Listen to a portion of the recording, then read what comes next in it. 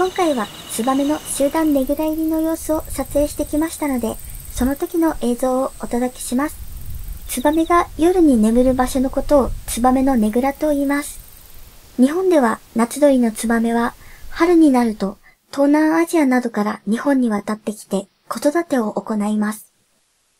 子育てが終わった成長や巣立った若鳥は日本から去るまでの間、夜間は吉原などで集団ねぐらを作る習性があります。そして秋になると越冬地を目指して日本を旅立ちます。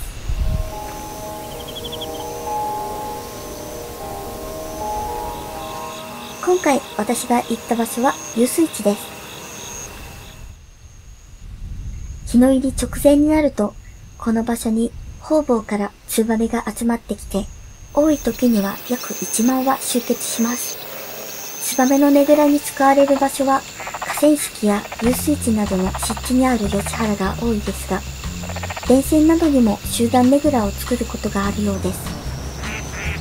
日の入り後、ツバメの大群がねぐらの周辺を群舞しています。鳴き声も飛び交い、賑やかな雰囲気です。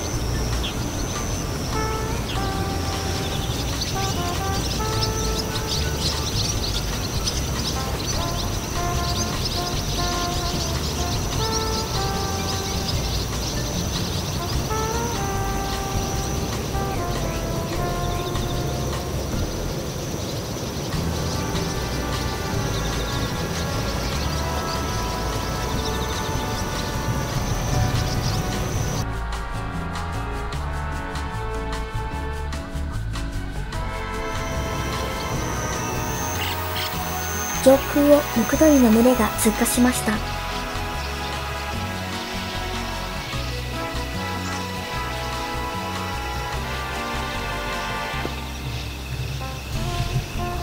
ツバメは飛行性能に特化している鳥で、そのスピードは平均時速4、50キロ。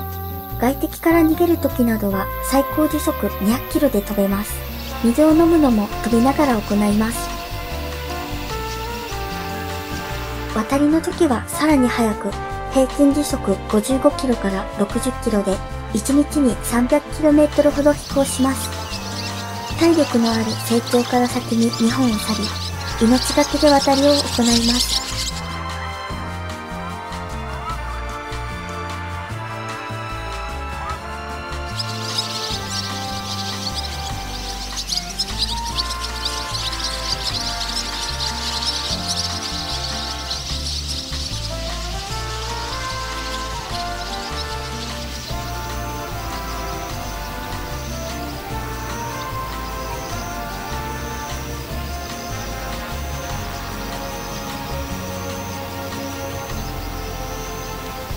ツバメたちが続々と草に着地し、ねぐら入りしています。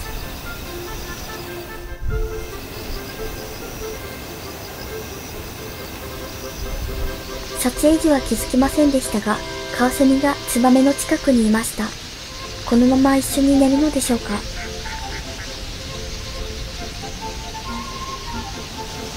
小動ツバメも混じっていました。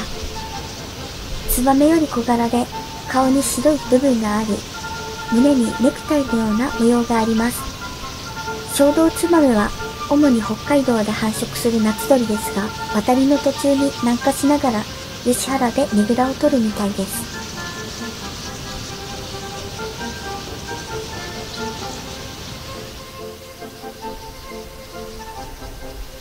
白いツバメもねぐら入りしています。